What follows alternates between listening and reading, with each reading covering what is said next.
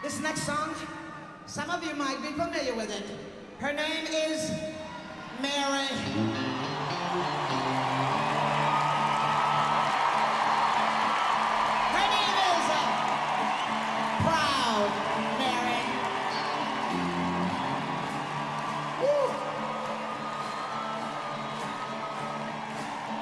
Uh, then,